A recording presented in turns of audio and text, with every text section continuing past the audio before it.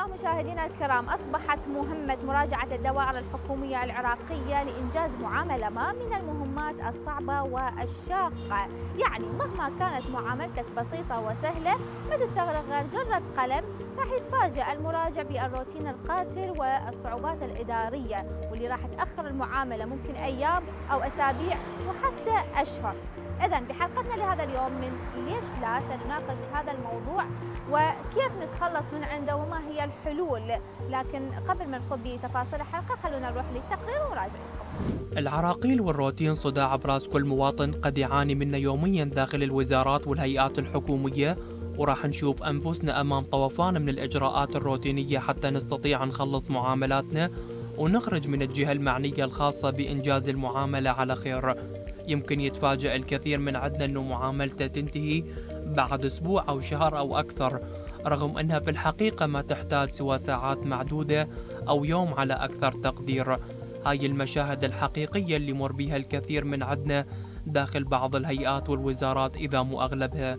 هذا الروتين الإداري هو بحد ذاته ظاهرة متخلفة وتقع ضمن دائرة الفساد المالي والإداري اللي تجاوز حتى الخطوط الحمراء.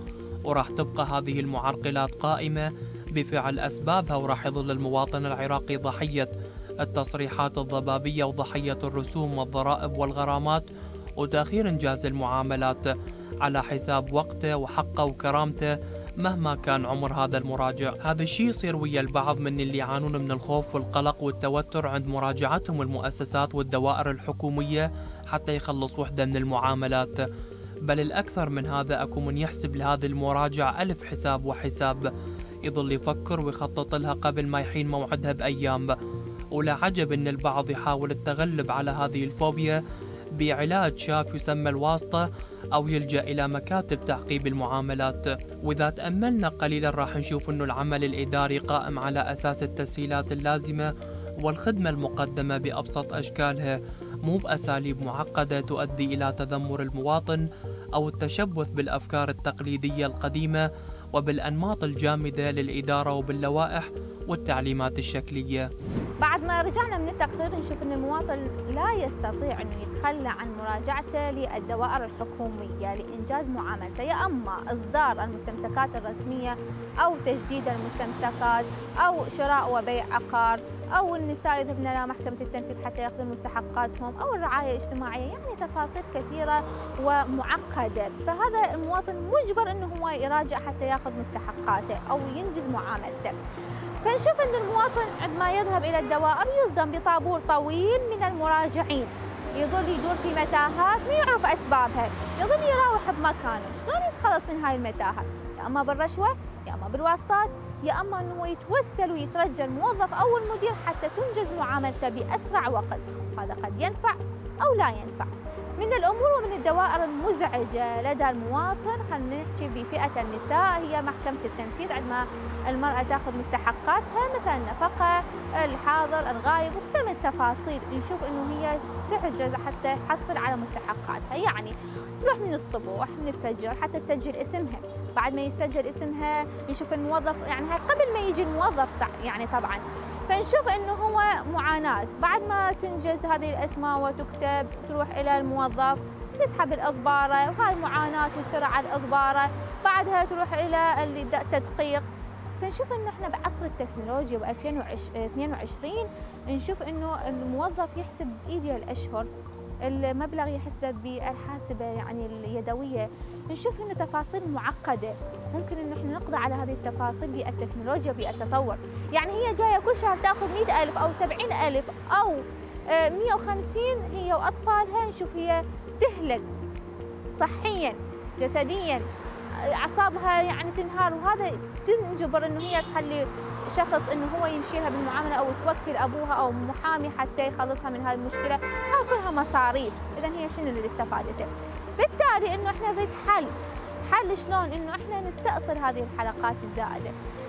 نشوف إنه عندنا سؤال يطرح من الكل. إنه هذا الروتين هل هو إجراء قانوني يحمي المواطن أو هو مجرد لتأخيره وتعذيبه؟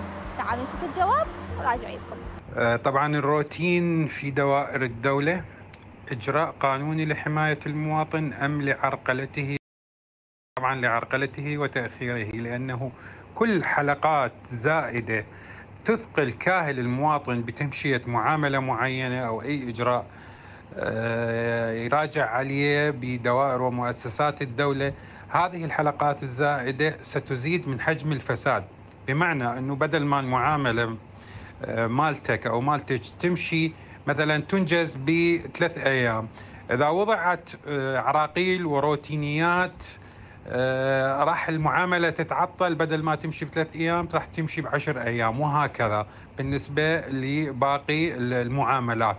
والتأخير طبعا راح يضطر المواطن آه، يدفع آه، رشاوى ومبالغ على مود يتم إنجاز المعاملة له وهذا بالنتيجة أيضا يدفع الموظفين اللي آه، يقومون بتمشية هاي المعاملات إلى ابتزاز المواطنين والمواطنين يتعبون من تعطيل الإجراءات فيضطرون إلى دفع مبالغ وبذلك ينتشر الفساد. وإحنا شفنا عندنا تجربة ويا مؤسسات الدولة. كل ما تضع الدولة آه، حلقة زائدة من العراقيل آه، في مؤسسات الدولة ستنتج لنا آه، باب آخر من أبواب الفساد. وهذا ارتداد عكسي وعمل خاطئ بالحقيقة القضاء على الفساد وعلى الروتين مو بزيادة الحلقات اللي تصعب على المواطن آه، تمشية معاملاته أو مراجعاته إلى دوائر ومؤسسات الدولة.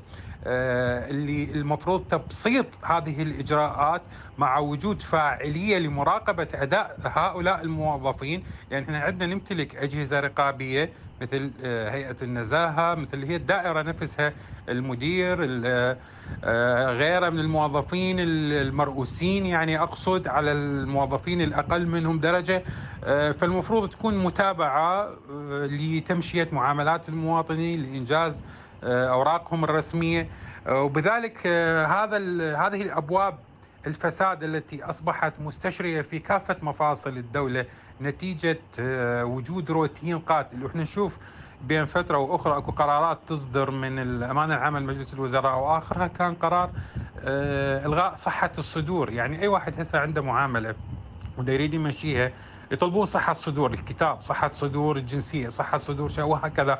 وهاي صحة الصدور طبعا تأخذ وقت إلا تجي الإجابة وبيد معتمد وكتابنا وكتاب وكتابكم. فمجلس الوزراء أصدر إعمام بإلغاء الإجابة صحة الصدور آه، ويتم المخاطبات الكترونيا. طبعا تبسيط الإجراءات للمواطن آه، تعود علينا بمنافع كثيرة جنبه. يعني اولا آه، الفساد يقل ثانيا المواطن يشعر إنه مؤسسات الدولة تعمل بصورة صحيحة. بس هذا الشيء للأسف إنه ما يصير بسبب الناس الموجودين يعملون بمؤسسات الدولة هم عناصر اولا آه، فاسدة وثانيا غير كفؤة يعني مو الشخص المناسب بالمكان المناسب. وهذا يمتد إلى آه، درجات عليا يعني حتى الدرجات الخاصة. يعني نشوف مثلا التقارير اللي تصدر من المنظمات الدولية من آه، منظمة الشفافية أنه دائما العراق يحتل مواقع متقدمة بالفساد الإداري وهذا فساد المؤسسات هو يرهق كاهل الدولة أولا يضعف عملها آه، وثانيا آه، يزعزع ثقة المواطن بمؤسسات الدولة ولذلك نشوف استياء شعبي واسع من قبل المواطنين. آه، لأن المواطن معاملة مالته ما تنجز بطريق سهل. دائما آه، سوء خدمات. من ضمنها هي الخدمات الإدارية اللي تقدمها آه، مؤسسات الدولة للمواطنين. يعني الخدمات مو فقط تنصرف إلى وجود ماء وكهرباء وخدمات تبريد. لا هي الخدمات تشمل كل ما يتعلق بحياة المواطن العراقي. وهذا كفل الدستور ضمن مبدأ إنه لكل مواطن أن يعيش بكرامة وتصان هيبته وكرامته وكونه إنسان آه، بس اللي نشوفه دا يصير العكس من ذلك لأنه آه، المواطن دا يتعب آه، عندما يراجع دوائر ومؤسسات الدولة بسبب الروتين القاتل بسبب سوء الإدارة بسبب عدم وجود رقابة فاعلية على وعدم وجود وسائل ردع حقيقية تجاه هؤلاء الموظفين الفاسدين الموجودين في دوائر الدولة اللي يستغلون الناس من أجل حصول على مكاسب مادية عن طريق من خلال طرق غير قانونية الرشوة والابتزاز وغيرها. إذا من النقاط المهمة اللي يجب نناقشها بحلقتنا لهذا اليوم موضوع وقت إنجاز المعاملة، نشوف إنه المعاملة في الدوائر الحكومية العراقية تستغرق وقت طويل، يعني أشهر أسابيع وحتى سنة أو سنتين. هذا كله المواطن يكون برحلة طويلة بين الاختام والتواقيع وصحة الصدور صورة قيد شهادة الخبير القانوني وغيرها من التفاصيل اللي تنطلب من قبل الموظفين وحسب الجهات المختصة أنه هذا القانون يحكمنا وهاي الدولة اللي واضعة هذه القوانين. بالإضافة للرئيس القسم يكون ما موجود مثلا أو الموظف يكون مجاز أو ماكو شخص بديل إله هذه كلها تفاصيل معقدة كلها حلقات زائدة ما إلها أي آه، يعني صحة من الوجود. يعني هو مجرد يمشي بمسيرة بطيئة روتينية معقدة. بالتالي راح يجبر المواطن بهذه الحالة على قولة أهلنا يدفع المقسوم المن الدلالين المعقبين المحاميين هنا حتى يشتري راحة باله حتى يحافظ على صحته حتى ما يعني يستغرق وقت طويل حتى ينجزها أو يكون بهذا الطابور الطويل من المراجعين.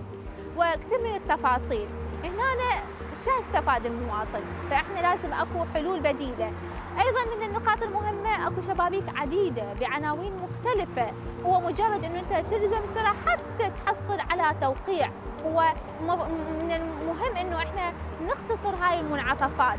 نعطي صلاحية للموظف أنه يقوم بهذه المهام حتى نقلص العدد من الشبابيك بالتالي راح نستأصل هذه الحلقات الزادة إذا نقطة مهمة أنه إحنا يجب أن نستأصل هذه الحلقات الزادة يجب أن نقلل هذه المنعطفات بإعطاء الصلاحية للموظفين آخرين. أنه يقومون بهذه المهمة هو مجرد توقيع. يعني أنت تلزم سرعة تحصل على هذا التوقيع. بالتالي هذه حلقات زائدة ما إلها داعي نشوف المواطن بدل ما يتخلص معاملته بساعة ممكن هي تستغرق وقتها. يعني مجرد توقيع بسيطة جدا لكن نشوفها إنه هو بدل ما يتخلص منها نشوفها يدخل بورقة واحدة تطلع بعدة ملفات عدة أوراق تحصل على كثير من الأمور. أيضا من النقاط المهمة إصدار صحة الصدور هاي مشكلة ووقت تستغرق. يعني أكو تلكؤ. نشوف الحكومة جاهلة عنها أو بدنا نعرف أنه هناك تفاصيل كثيرة وهناك نقاشات حول هذا الموضوع لكن ماكو أي استجابة. أيضا من النقاط المهمة اللي نناقشها هو موضوع البريد وهذا أحد أسباب تأخر إنجاز المعاملة. إحنا بالعراق عندنا وبدوائرنا البريد يستغرق وقت طويل خاصة إذا كان بريد بين بغداد والبصرة أو بغداد ومحافظات أخرى أو محافظة إلى أخرى. يعني تعقيدات آه، كبيرة وطويلة. إحنا هنا عندنا نقول بعصر التكنولوجيا بعصر الأنظمة الإلكترونية. ليش لا ما نفعل هذه الأنظمة الإلكترونية؟ ليش لا ما يكون بدل البريد الورقي بريد إلكتروني؟ يعني إحنا قلنا البريد يستغرق أسبوع أو ممكن شهر يعني تفاصيل كثيرة. إذا فعلنا هذه الأنظمة الإلكترونية وكان أكو ارتباط بين الدوائر الدولة حنشوف إنه أني بثواني يوصل البريد عن طريق الإيميل أو الموقع. يعني حلها جدا بسيط. إحنا نبدي نقطة نقطة. إذا فعلنا هذه النقطة راح نقلل أو راح نشوف إنه الوضعية تمشي تمام نشوف إنه المواطن شوية يعني حيحس إنه أكو تحسن أكو عمل الدولة تسوي شيء يفيد المواطن.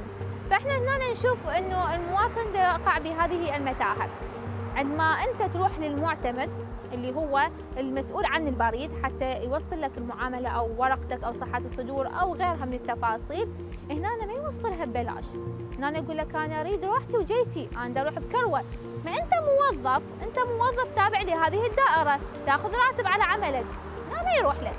إذا رفضت إنه أنت تدفع راح يقول لك روح أنت وديها وجيبها. هنا المواطن راح ينجبر انه هو يدفع المبلغ اللي يطلبه حتى يتخلص من هذه المعاناة. هنا نحن نقول إذا فعلنا هذه الأنظمة فعلا وبدل ما يكون بريد قلنا ورقي يكون إلكتروني هنا بدل ما يكون موظف مسؤول عن هذا البريد أيضا اكو موظف موجود وهذه الطريقة أأمن. إذا على الأمان فهذه أأمن. يكون موظف خاص ما يدخل هذا السيستم فقط الموظف المسؤول عن هذا البريد. بالتالي راح تنحل هذه المشكلة. إذا مشاهدينا الكرام تعالوا نقارن هذا الموضوع مع بقية الدول. بقية الدول آه، خاصة المتحضرة نشوف أنه عندهم بطاقة ثبوتية واحدة يقدرون هي عن طريقها يسيرون وينجزون معاملتهم بكل آه، يسر ويعني آه، بدون معاناة. لكن بالعراق نشوف إنه إحنا ما عندنا أوراق ثبوتية أو ورقة ثبوتية هي اللي تثبت واللي هي تخلصك من معاناة كثيرة، عندنا جواز السفر، عندنا إجازة السوق، عندنا بطاقة السكن، عندنا آه، الجنسية، بطاقة موحدة، يعني كثير من التفاصيل أنت لازم تأخذها وياك. ورغم هاي إنه أنت مجهز أمورك تطلع لك عراقيل ما تعرف شنو أسبابها. أيضا من النقاط المهمة عندهم في كل دول العالم أنظمة إلكترونية. تقدر إنه أنت تطلب معاملتك عن طريق البريد الإلكتروني أو عن طريق النظام الإلكتروني وترسل آه، عن طريق البريد وممكن إنه تتبلغ إنه تم إنجاز معاملتك. تعال حتى تستلمها. اذا أكو نظام. أكو إنه الدولة متابعة هذا الموضوع. هنا نشوف إنه ما عندهم مشاكل. وإن وجدت فهي بسيطة وقليلة. بالتالي إنه إحنا نفتقد لهذه الأنظمة. ضروري إنه إحنا نعالج هذا الموضوع لأن المواطن آه، نفكر بالكبير بالسن نفكر إنه يعني آه، شلون هو موسم صيف شتاء يعني كثير من التفاصيل يجب إنه إحنا نعالجها. طبعا كل دول العالم أكو أنظمة إلكترونية تنظم عملهم. بالتالي إن وجدت المشاكل فتكون هي بسيطة ومعالجتها أيضا بسيطة. إحنا هنا آه، بالعراق نفتقد لهذه الأنظمة طبعا. أيضا عندهم نظام يتابعون الموظف يتابعون المدير يشوفون ان الموظف كم معاملة أنجز شنو التلكؤ شنو صار عندهم أخطاء حتى يعالجوها. بالتالي هذا في سبيل راحة المواطن. وين إحنا من هذه الأنظمة؟ وين إحنا من هذا التطور؟ ليش إحنا ب 2022 وماكو لحد الآن أي معالجة لهذا الموضوع؟ وين مشروع الحكومة الإلكترونية؟ بس نسمع عنه دون أي تنفيذ تعالوا نشوف الجواب. راجعين. حقيقة يوجد موضوع جوهري هو موضوع الحكومة الإلكترونية والبوابة الإلكترونية للدولة العراقية. الدولة العراقية بخدماتها المتنوعة في وزاراتها وفي دوائرها وجميع الخدمات الهادفة والخدمات العامة. لا تمتلك قدرة على تحويل جزء إلكتروني يعني من أعمالها إنما جميعها ورقي وروتيني. مما سبب حقيقة عدم إمكانية هذه الدولة بما يقدر بما أربعة ونصف مليون موظف اثنين ونصف من عندهم هم موظفين مدنيين. عدم قدرة على خدمة ما يقارب ال 40 مليون. مع العلم في دول العالم نسبة 2 3% الوظائف الحكومية تخدم. إحنا وصلنا نسبة 8% 7% وما قاعد نقدر نخدمهم. سبب شنو؟ تذهب إلى دوائر التقاعد المصارف غيرها ازدحام وهوسه ويعني مشاكل حقيقة كبيرة بسبب كثرة الأشخاص. لكن العالم وصل إلى نتيجة إنه يجب أن يكون جزء من المعاملة الإلكتروني الذي لا يستحق حقيقة أن أن يكون ورقي وانتظار. الزائد الورقية تعمل، فبدأت الحكومة منذ 2010 لغاية اليوم على عمل على بوابة إلكترونية، حكومة إلكترونية. ظهرت منها في سنة 2021 بوابة اورا إلكترونية رابطة لجميع دوائر الدولة وتستطيع هذه البوابة ان عن طريقها يكون هناك تعيينات، هناك تقديم مباشر، كثير إعلانات، كثير من الخدمات.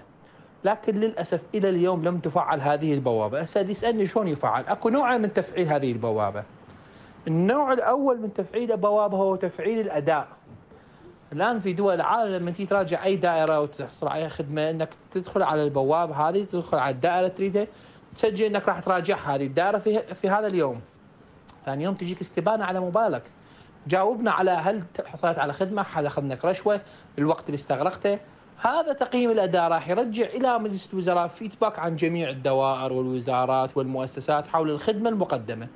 فبالتالي تقيم أداء الدولة تقوم تقيم يا بنتي دائره أداء سيء انت دائره أداء جيد. هذا النوع حقيقة فقدناه فقدناه بشكل كبير بسبب عدم وجود تقييم عن طريق بوابة اولى إلكترونية. الآن تذهب إلى دائرة وانت وش يمسوي لا تفتح واجهة إلكترونية ولا شيء. تبتز وتؤخر ومزاجيات وغيرها. ومن الرقيب؟ لا يوجد رقيب. يعني رقيب يعني داخل الدائرة المدير يريد يريد خاطر الموظفين الموظفين يريد خاطر المدير. فبالنتيجه ما حد راح يقول على واحد أداء سيء. فترى الدولة بلا تقييم أداء. علما أن إحنا نصف 90 تريليون دينار رواتب تشغيلية. وتقييم أداء ما عندنا. خدمة سيئة للمواطن. فالنوع الأول في هذه البوابات هي حقيقة تفعيل الاستبانة الإلكترونية الواجهيه الإلكترونية.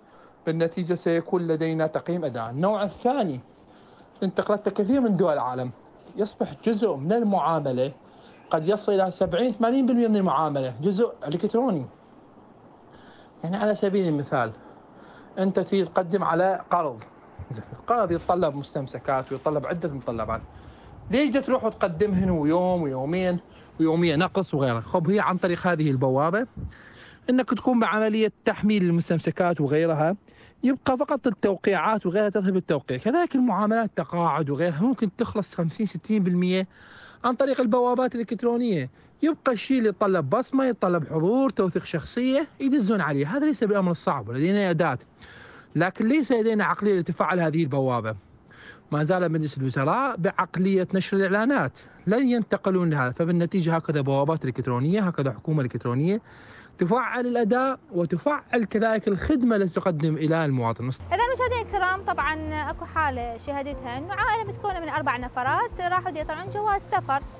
آه، راحوا لإدارة آه، الجوازات العامة طبعا آه، موضوع سهل بسبب الأنظمة الإلكترونية بسبب التكنولوجيا يعني واصلة لهذه الدائرة الحمد لله والشكر وإنه المعاملة والأمور مشت بسهولة يعني ممكن تطلع جواز بأربعة أيام إلى أسبوع قبل كنا يعني أسابيع المهم هذه العائلة متكون من أربع نفرات آه، رادوا طبعا جواز سفر. مشكلة واحدة واجهوها اللي هي إنه طفلة آه، عمرها ثمان سنوات أو تسع سنوات تقريبا والصورة البنت هي عمرها أشهر.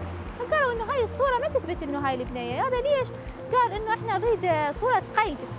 قال لهم شو صورة قيد؟ أنا أبوها أنا هاي أبوها وهاي أمها يعني موجودين. فإحنا أكبر إثبات ودليل. قال والله إحنا هذا النظام عندنا هيك يقول آه، بسبب إنه آه، هذه الصورة الموجودة بالجنسية تعتبر بلغتهم إنه هي عجينة أي بنيه تقدر تتركب عليها. أوكي راحوا إلى أحوال مدينة الصدر طبعا هنا كارثة هذه الدائرة بكل معنى الكلمة إنه هي ضيم قهر لكل مواطن يراجعها. راح نعرف الأسباب. راح الموظف حتى يصدر إنه آه، وثيقة إنه هي تثبت إنه هذه البنية هي بنته آه، رفض الموظف ينطي هذه الوثيقة. قال له أنا أريد تجيب لي كتاب من المختار إنه يثبت هذه بنتك. طبعا هنا الأب فقد أعصابه. يعني آه، عندنا نحكيها باللغة العامية إنه هو ظل يضرب على رأسه يقول أنتم مقتنعين بهذا الموضوع؟ إنه المختار يثبت هذه بنتي وأني أبوها ما أقدر أثبت لك بنتي. شنو هالتخلف اللي إحنا بيه؟ فهنا الموظف قال له والله هاي آه، حكومتك وهاي الأنظمة القوانين المتبعة أنت عليك إنه أنت تلتزم فيها. طبعا المدير كان موجود وحاضر ما قدر يسوي أي آه، حل لهذه المشكلة. اكتفى إنه هو يشاهد المشهد وراح. هنا اضطر إنه هو المواطن يروح للمختار. طبعا للعلم إنه هذا شايل بمنطقة جديدة. يعني المختار ما يعرفه وما يقدر يثبت إنه هذه بنته. مثل ما راح جاب هذا الكتاب من المختار راح صدقه بالمجلس البلدي وراح وندا قال له هاي أنا أريد آه، تعطيني هذه الوثيقة. اللي صورة قيد. تمام؟ بالتالي إنه هذا الموظف ما اعتمدها سوى باوع عليها وعافها انطاها هاي الوثيقه قال له هاي صورة القيد روح راجع الدائرة مالتك. هنا الأب قال له شلون مو أنت؟ خليتني يوما أروح وأجي. قال له والله هذا هو النظام حتى نثبت. هنا إحنا مشكلة مشكلة يعني كبيرة. يعني أب وأم يقدرون يثبتون هاي بتهم والمختار اللي هو مختار المنطقة اللي ما صار له أشهر قاعد بيها راح انطال مقسوم ها حتى يعطيه هذه الورقة وتثبت إنه هاي بنته بقى ناقص بس يقولون لنا نريد تحليل دي إن اي عيب. فإحنا هذا تخلف. إحنا وين وصلنا؟ ويا ريت إنه هو استفاد منها. هذه مشكلة كبيرة. اذا السؤال يطرح نفسه. ليش هالتعقيدات؟ ليش لا ما تكون أكو قاعدة بيانات تربط دوائر الدولة مع بعضها؟ ليش ما أقدر أنا أدخل على قاعدة البيانات وأعرف إنه هذه البنية هي نفسها أو لا؟ ليش أروح أجيب ورقة من المختار؟ اذا إحنا بحاجة إلى تحديث. خلينا نشوف الجواب. راجع لكم. السلام عليكم. آه، بالنسبة لدوائر البطاقة الوطنية أصبحت لديها قاعدة بيانات آه، آه، حيث تم تسجيل أكثر من 23 إلى 24 مليون نسمة من الشعب العراقي بداخل النظام على مستوى العراق آه، وما بقى إن شاء الله إحنا دوائر تقريبا اكثرها غلقت آه، كورقية وأصبحت إلكترونية. الدوائر الإلكترونية بإمكان أي دائرة من دوائر الدولة شراء قارئ للبطاقة الوطنية آه، من مديريتنا واستعماله وهذا طبعا يتيح آه، نافذه أمام أي دائرة لقراءة كافة المعلومات للمواطن ومن ضمنها صورة المواطن لكن هناك أكثر الدول ما يشترون أصلا القارئ البطاقة وب- وأما المواطن اللي يحمل بطا... ال- المستمسكات الورقيه إحنا نسميها يعني اللي هي هوية الأحوال وشهادة الجنسية القديمة فهي ما ممكن قراءتها لا بقارئ ولا. إلا يطلبون صورة قيد هاي يطلبون لها صورة قيد أو يطلبون صح صدور للهوية. بس إحنا أكثر الدوائر حاليا يعني مثلا دائرة العقاري آه، دائرة ال- الكاتب العدل دائرة ال- يعني بالمحاكم آه، دا تعمل على قارئ البطاقه الوطنية ودا أكثر أغلب المواطنين اللي يحملون بطاقه وطنيه تمشي معاملاتهم. إحنا حاليا نمر بزخم زخم لكثرة المواطنين نحن بالعطلة الصيفية أما بتسجيل المواطنين إحنا باليوم بدنا نسجل آلاف المواطنين بل مئات الآلاف على مستوى العراق إحنا نتكلم إذا نتكلم على مستوى العراق. أما مستوى دوائر آه، بغداد ف أكثر من عشرة آلاف مواطن تقريبا باليوم دي يسجل في بغداد على مستوى ال- ال- البطاقة الوطنية فهي أصبحت قاعدة بيانات لكل دوائر الدولة. وموجودة تحتوي على كل معلومات المواطن ومن ضمنها حتى السكن. سكن المواطن وتحمل آه، مستمسكات الأحوال المدنية وتحمل آه، معلومات شهادة الجنسية. فبإمكان أي مواطن آه، يقدم بطاقة وطنية لدوائر الدولة وهي هاي قاعدة البيانات اللي إحنا موجودة عندنا. وأي استفسار أي سؤال ثاني أنا حاضر. طبعا إذا جينا حكينا على دوائر الدولة الحكومية عندما نراجع أي دائرة لإنجاز معاملة راح نشوف إنه هذه الدائرة متهالكة، نشوف البنى التحتية تعبانة، نشوف إنه هي أغلبها من السبعينيات الثمانينيات، يعني ما تليق بالعراق، ما تليق باسمها دائرة حكومية، شوف مقاعدها كسرة مغبرة، نشوف إنه آه، ما مكيفة. يعني بالصيف نشوف التكييف وإن وجد فهو وجوده مثل عدمه. شوف قاعات ما موجودة للاستراحة وإن وجدت فهي تكون صغيرة ما تستوعب هذا الكم الهائل من المراجعين. نشوف ممراتها ماكو نشوف أن المواطن ينتظر معاملته وهو يحترق بالشمس حتى تنجز المعاملة. مثل ما قلنا كبار بالسن نساء رجال أطفال يعني مأساة. إذا جينا حكينا على الحواسيب فنشوفها فنشوفها هي يعني قديمة وتعبانة مغبرة آه، موظف يعني الميز آه، مالته يعني مشكلة. نشوف كوب الشاي الماء يعني ماكو نظافة ماكو متابعة ماكو إدامة لهذه الدوائر. على نقطة مهمة أخرى هو الشباك. يعني أكو شبابيك عديدة. هذا ال- النظام اللي أنت تنحني حتى إنه تعطي المعاملة أو تاخذ المعاملة. طريقة إنه أنت تستجدي من هذا الموظف. يعني هذا إحنا بعصر يعني 2022 المفروض هذا إحنا قاضين عليه ومنتهي. شنو أنا أدنك حتى انطي المعاملة لو أخذ المعاملة وأنحني؟ كاسر ظهري في سبيل إنه أني أتعامل ويا الموظف وأترجاه حتى يسهل لي أمر ما يسهل لك أمر.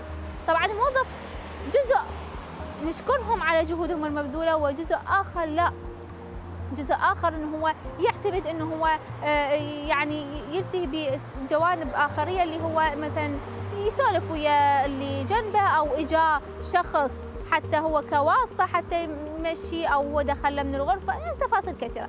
عندما أنت تجي تحاجج هذا الموظف تقول له يابا مشيني اني سرايه أنت هذا دخلك من باب الغرفة يقول لك ما مشي لك. يعاند يشد ويا الموظف ويا المراجع عفوا. فبالتالي هذه مشاكل كثيرة وعديدة لها معالجة لابد إنه إحنا نقضي عليها. يعني بتفاصيل كبيرة على الأقل نجهزها ناثثها ونرتب وضعيتها حتى تليق بالمواطن تليق بالعراق. يعني لما يجينا ضيف حتى يراجع دائرة أو يمر من دائرة يشوفها بهذا الهلاك مشكلة هاي مشكلة وكارثة. وأيضا من النقاط المهمة بعض الدوائر الدولة عندها شفتين شفت صباحي وشفت مسائي. عندما أنت تروح تنجز معاملتك انتهى دوام الصباحي تريد تكملها ويا المسائي. ما يستقبلوها. يقول لك لا أنت كملت ويا الصباحي وبديت وياهم خلاص تكمل المعاملة وياهم. يابا ليش هذا نظام. إحنا ليش ما نكمل المعاملة؟ هو دائرة واحدة الموضوع نفسه الفكرة نفسها ليش أما أنا أكمل المعاملة؟ يعني هذه مشكلة أخرى وعراقيل أخرى. اذا هو ليش وجد الشفت المسائي ما هو حتى نسهل الأمر. بالتالي نتخلص من هذه المشكلة. فيا ريت إنه يكون أكو معالجة حقيقية لهذا الموضوع. إذا مشاهدينا الكرام قبل ما نختم حلقتنا لهذا اليوم نقول ماكو أي مبرر حتى إنه إحنا نتأخر بإنجاز المعاملة بعصر الرقمنة وإدخال التكنولوجيا إلى كل مفاصل الحياة. وأيضا الحل الأمثل حتى نتخلص من الروتين القاتل هو إدخال البرمجة الحديثة. بالتالي الموظف والمواطن حيكون أكو تعاون بيناتهم ويتخلص المواطن من الروحة والجاية من دائرة إلى أخرى ونتمنى أنه يتم الشروع بهذا النظام حتى تعمل فائدة للجميع. إذا المشاهدين الكرام وصلنا إلى ختام حلقتنا لهذا اليوم. نلتقيكم الأسبوع المقبل بحلقة أخرى. إلى اللقاء.